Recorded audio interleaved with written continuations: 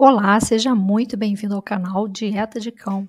E hoje eu trago um guia prático e rápido sobre vermes em cães. Se você desconfia que o seu cachorro esteja com vermes, esse conteúdo vai te ajudar muito. Os temas abordados aqui vão ser sintomas, como identificar se o cachorro está com vermes, quais os tipos mais comuns de vermes que podem infectar o nosso cachorrinho e, inclusive, podem também nos infectar, a nós e a nossa família, e como eles se infectam e também soluções caseiras, tratamentos naturais que você pode fazer aí na sua casa que vão ajudar a prevenir e a tratar naturalmente os vermes. Então, como saber quando meu cachorro está com vermes?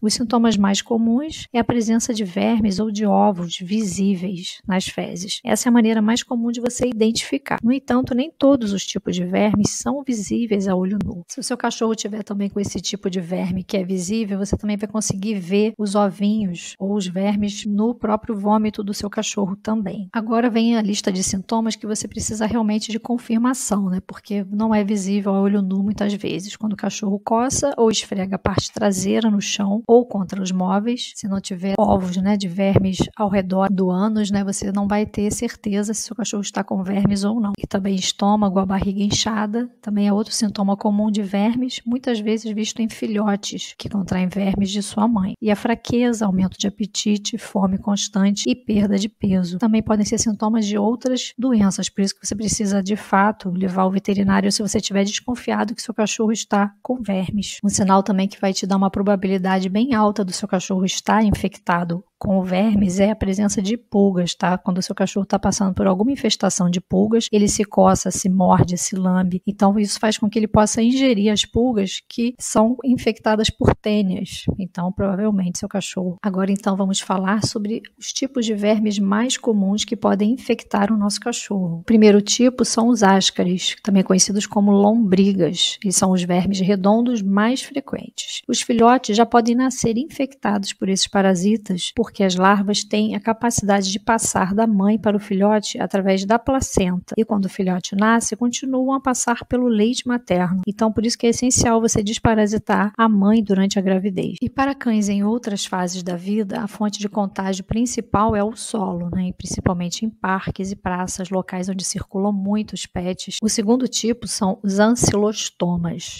que são tipos de vermes redondos que também são conhecidos como vermes gancho, porque eles passam através do leite materno e se fixam firmemente através de ganchos na parede do intestino, ocasionando dor e podendo gerar até sangramento, que vai ser mais ou menos grave de acordo com a quantidade de parasitas e as condições gerais do cachorro. Esse sangramento pode gerar anemias importantes, colocando até a vida do filhote em risco. Outro tipo também muito comum são as tênias. Eles são os vermes mais abundantes em cães e gatos. Esse parasita atinge os animais de estimação através das pulgas. Quando a parasitose está instalada, é comum ver parasitas adultos em torno da cauda, como grãos de arroz, e que o animal raspe a área contra o solo. Nesse caso, a desparasitação não é suficiente, você precisa também eliminar as pulgas do seu cachorro. Outro tipo bem comum também são as giardias. A principal fonte de contaminação é através da água ou de alimentos. A mãe também pode passar para o seu filhote através do leite materno, se ela tiver em local infestado de giardia. Uma coisa aqui que eu quero chamar a atenção é que três desses vermes,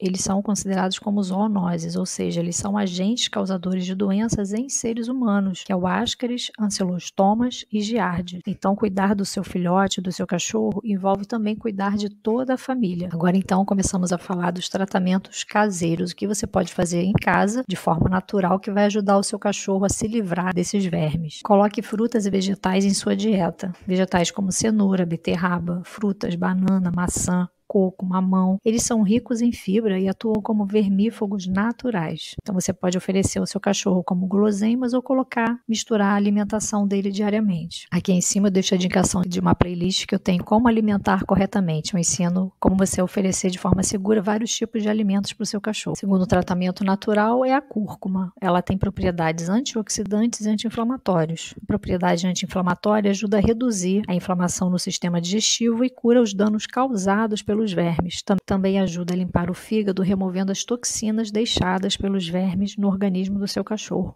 A melhor maneira de você utilizar cúrcuma para o seu cachorro é na preparação dos alimentos dele, tá? Como se fosse um tempero, bem pouquinho mesmo, uma quantidade pequena na preparação durante o cozimento. O terceiro tratamento são as sementes de abóbora. Elas contêm um composto desparasitante chamado cucurbitacina. Esse composto faz maravilhas porque ele paralisa os vermes e impede que eles se agarrem às paredes intestinais durante a evacuação, né? Então, isso garante que os vermes saiam todos nas fezes, não fique nenhum agarrado ali nos tecidos intestinais do seu cachorro. E agora, como oferecer as sementes de abóbora? Eu sugiro que você adquira aquelas em loja de produto natural, aquelas que são torradas sem sal. Aí você pode triturar um pouco quando chegar em casa, porque se você delas assim em forma de semente, ele pode se engasgar, né? Então você tritura um pouquinho e pulveriza em cima da alimentação do seu cachorro. O quarto tratamento natural que eu recomendo é o vinagre de maçã. Ele funciona porque, ao contrário de outros vinagres, ele aumenta os níveis alcalinos no intestino, tornando-o inóspito para parasitas e vermes. Você pode adicionar uma colher de chá rasa de vinagre de maçã à água do seu cachorro todos os dias. Eu vou deixar aqui em cima também a indicação de um vídeo onde eu falo dos benefícios do uso do vinagre de maçã para o seu cachorro. Então, muito obrigada pelo seu tempo e até o próximo vídeo. Espero que esse conteúdo tenha realmente te ajudado. Tchau, tchau.